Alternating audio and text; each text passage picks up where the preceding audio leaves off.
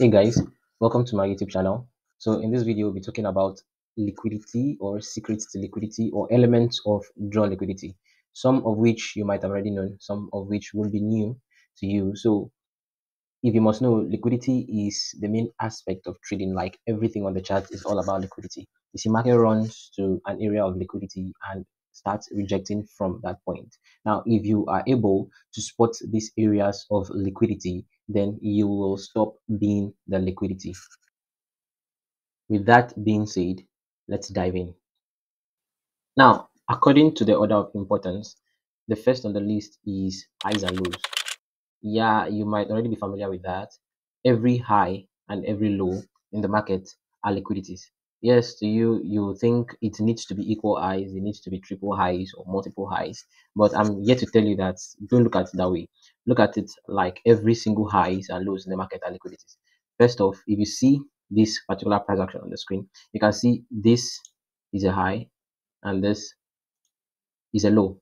You can also see this is a short-term low and that is a high. And also this is a short-term low and this is an external low. That is also high.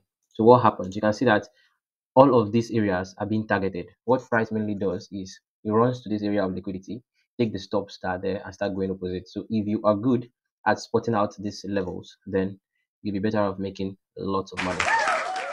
Now what happens here is that if you can see this is called the buy side liquidity. Once price takes that out, price starts going opposite to the next liquidity, obviously. Now you can see this is called a sell side liquidity. Once price takes that out, you can see here, it starts going opposite. Now we also have another buy side liquidity, which price is yet to take, but obviously you can see where price is heading to that. It's heading for that buy side liquidity. We also have another external liquidity here, and you can see how price came for that and start going opposite. So if you're good at spotting these liquidities, then you're good at technical analysis. You just need to spot where the liquidities are. I know you'll be asking why is price not coming for the external low instead it's coming for the short-term low. Well, it's obvious. This external low is the beginning of the structure. So price needs to take an inducement before going opposite. And that is how you can spot liquidities, which is the first element of a draw on liquidity. The next one is rejection blocks. Now, what are rejection blocks? You might want to ask that question. It's very important, right? Rejection blocks are areas of rejection. Like on the chart, when you see a level, you spot a level like this that's rejecting with long shooted out wicks that becomes rejection block. Price is rejecting from that level shooting out the wick and ending up closing lower. So what you do in this case is you outline your rejection block. And what price simply does with this rejection block is that once price trades back to a rejection block it sees that as an area of liquidity. Like I said, liquidity are where price are attracted to. So once price gets to an area of liquidity, it simply goes to the opposite. So rejection block is an element of liquidity. Now, once price gets to that rejection block, you can still find an entry there to sell off. And this is simply what price does. Price gets to that rejection block and sell off. Simple stuff, right? Now, the third element of draw on liquidity according to the order of importance is an order block. And i believe you must have already heard of order blocks from one or two channels but what is an order block? An order block is simply the last bearish candle before an impulsive move to the upside or the last bullish candle before an impulsive move to the downside. Now it's very important to note that an order block must be sweeping a low must be taking out a low and also an order block must have fair value gaps. And you shouldn't worry about that because we're going to be talking about fair value gap soon enough. Now how do you mark out your order block? First you want to pick from the beginning of the candle when i mean the candle i mean the whole candle including the wicks. If not you might likely miss some entries right? So you pick the beginning of the whole candles and expect price to trade back into that order block before going higher. Now what do you do? Let's watch how price respects this order block you can see how price trades into that order block respecting that area of liquidity. Like i said liquidities are always a point of rejection right? So once price trades into that order block it starts going to the opposite direction and that is how to spot a good liquidity right? So this high could be your target for a good buy. So number four is the fair value gap, which can also be called an inefficiency or an imbalance. Yes, I mentioned it before, but what's a fair value gap? Well, fair value gaps consist of three different candles, right? First candle, the second candle, and the third candle. The second candle is what determines the gap, while the third candle is what determines if it's going to be a fair value gap. So the, the second candle carries the displacement or the momentum that gives the gap, while the third candle determines if it's going to be a gap or if it's going to close back to the high of the first candle. Now, what you what you really want to do to find the value gap is to find the highest price of the first candle and the lowest price the second candle. So something like this, you can extend it to the right. Once you see something like this, this tells you that this is a value gap.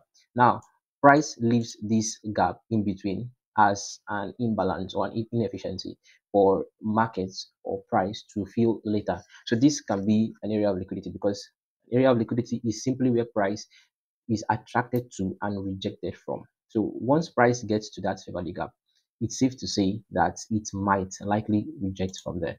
Now let's see. So we have a lot of all this price action going back and forth, and we're just patiently waiting for price to drop into that value gap before we could do anything else. And you can see how price drops into that value gap before started buying, and that tells us that that is a valid value gap. Now the fifth we have is liquidity void. Now understand that liquidity void is one of the most rarest form of draw on liquidity out there because this particular form of liquidity happens very rare, like once in a while. But once you see it, you can't unsee it, right? So what happens? What's a liquidity void? Similar to that of a fair value gap, liquidity void is simply where there is no fill there's no candle at all. So it, it could be just total void, or it could be just wicks. Now, how do we find this void? Now you can see on this level, there's no candle filling those gaps there. So we have a liquidity void. If you draw that to the to the right hand side, you can expect market to respect, you can expect price.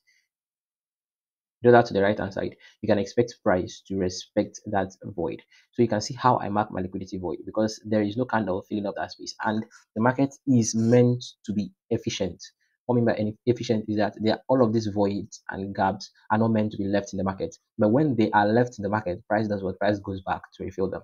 So if you just play the chart there, you see how price respects that liquidity void and starts going opposite. So just like other form of liquidities, liquidity void is an element of draw on liquidity, and you can see how the candles of this of this uh, the, the body of the candles are respecting this particular void. The next element of draw on liquidity we have is the breaker block. Now, what do I mean by breaker blocks? Breaker blocks are a form of liquidity that also happens on the charts seasonally. Like it doesn't happen every time, but once you see it, it's always there. For example, you want to have price taking out a high, which is also a form of liquidity. So we have price taking out a high. It could be slightly, it could be with momentum, but whichever way, price rated a high. So what you want to find next is price breaking a low. So this area, this last bearish candle before the reading of that high is no more an order block, but becomes what? A breaker block. So you outline that to the right. Once price breaks that block, becomes what? A breaker block. And what do you expect? You expect price to trade into that block before selling off. Something like this. You expect price to trade into that block before selling off. Now, if you play, you see exactly what price does in that area and price did exactly what we wanted. You can see how price played into that breaker block before selling off. Now, this is a very useful form of liquidities. So now you know all the elements of draw on liquidities that are out there. There are no more secrets to be kept.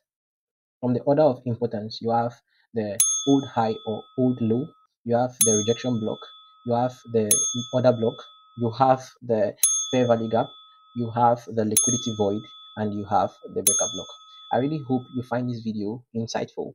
And if you do, please like the video and hit the subscribe button if you want me to explain further in details about this element of liquidities. Until next time.